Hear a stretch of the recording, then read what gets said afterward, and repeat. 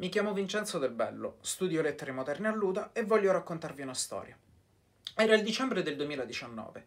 Frequentavo il laboratorio teatrale dell'università e ci stavamo occupando di alcune novelle di Roberto Bracco, un drammaturgo che era stato oggetto di studio da parte della professoressa Dinallo e del quale avrebbe dovuto parlare in un'intervista per la RAI di lì a qualche giorno. Io e la mia collega Patrizia pensavamo di dover semplicemente portare in scena, sul palco, qualche novella dell'autore ed effettivamente fu così. Però non eravamo soli. Ma mi spiego meglio. Di lì a poco la professoressa ci chiamò presso il suo studio. Ci saremmo aspettati di tutto, ma certo non di diventare delle star del piccolo schermo. Va bene, sto esagerando, mi ridimensiono. La professoressa ci disse che aveva chiesto alla troupe di riprenderci mentre recitavamo una delle novelle più divertenti di Bracco, cioè Il confessore in imbarazzo. E la troupe accettò. Certo, specificarono che non era assolutamente sicura la nostra messa in onda, che i tempi televisivi sono tiranni e che molto probabilmente in fase di montaggio ci avrebbero tagliati, però accettarono. Io e Patrizia eravamo felicissimi. Avevamo saputo che forse saremmo andati in televisione. Era un forse bello grosso, ma a noi non importava. Avremmo dovuto tagliare una novella da 13 minuti a 2 minuti.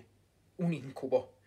E anche se a distanza di un anno, onestamente non saprei ben dire come, ci riuscimmo.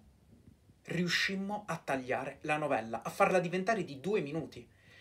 La portammo in scena il 13 dicembre 2019 arrivò finalmente il giorno delle riprese.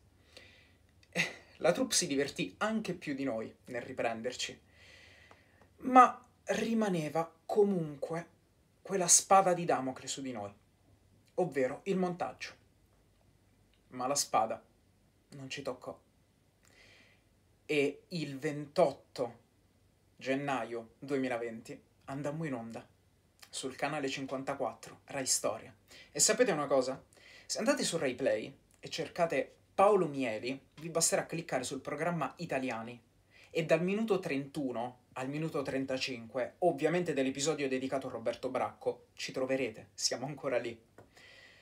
Come ben saprete, un mesetto dopo, o poco più, finimmo tutti in clausura, appunto come un monaco e una suora ma lo vedrete meglio.